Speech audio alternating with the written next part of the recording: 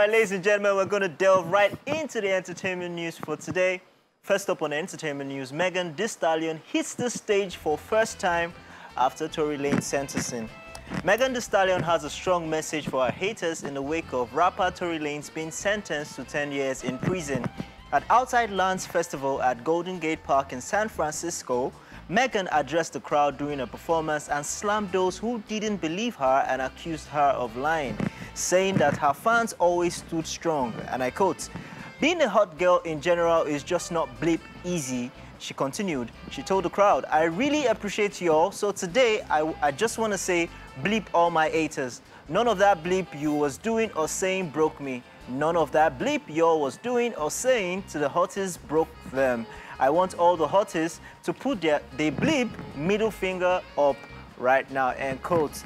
In other news, Tory Lanez is being held in solitary confinement for fear of attacks by other inmates at LA's notorious county jail as he begins his 10-year sentence for shooting Megan Thee Stallion. According to sources, wardens are checking on the hip-hop star every 30 minutes in the administrative segregation unit that has previously housed O.J. Simpson and that 70s show rapist Danny Masterson, but the rapper now finds himself alone in a cell for 22 hours a day in the violent and overcrowded jail. Tory is also on suicide watch and is allowed to shower every other day and only allowed into the jailhouse grounds for three hours a week.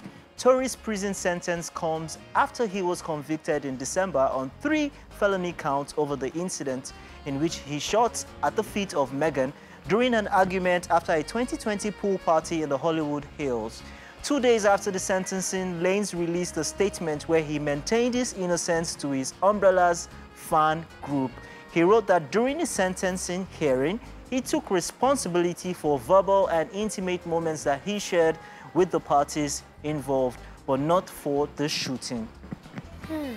ah, wow. Um, I, for one, have been, because ever since this whole saga began um, involving Megan Thee Stallion and Tory Lanez, she has been going through a whole lot based on looking at the backlash that she will probably get because of a black person sending another black person to jail. She didn't want to say anything.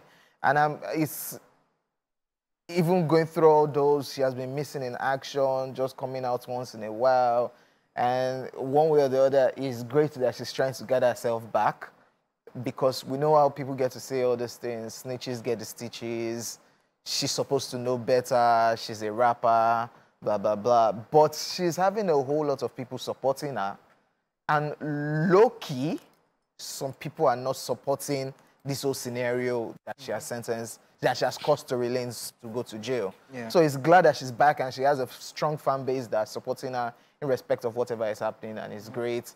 As regards to Lanez and his situation in jail, we already know that to get to that point one way or the other, because yeah. he's going through a lot. This is not what is supposed to happen.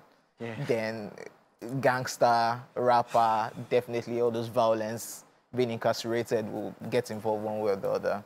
So it's, it's, it's, funny how everything can change in, in the blink of an eye, yes. in, a, in a second. You know, he was, like we always say, in 2020... He was in charge. He was everywhere. He was in charge yeah. of that time. He was high on was, his own supply. Yeah, he was high on that. Um, so it just takes a second for things to change. Ah. now, regardless anything, Megan is still going to face black backlash. Of course. It's, it's a community where you already have yes. people who are mm-hmm. loyal to Tory. Yeah. One way or the other, they are going to blame you for putting that guy in jail. But guess what? He also has the responsibility to make things right now.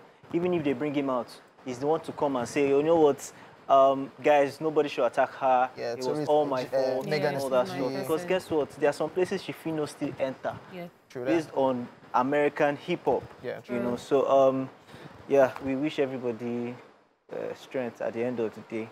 Yeah, you, know. you guys have said it all. Wish them mm -hmm. the very best. I, I, I think to just make it stronger, Tory and Megan should just work on a song and they should drop the song. It's perfect. It's perfect. They if that happens, song so that it just douse the yes. situation. Because guess what? People take see the culture there is so strong. But the people, lyrics, people they take up serious. Yeah. Some people will still not care even if they do a song together because some people it's already etched in their mind that she did this, this happened because of her. So There it's are it will bring keep it will bring in that mind. unity between the umbrellas and uh, hot girls.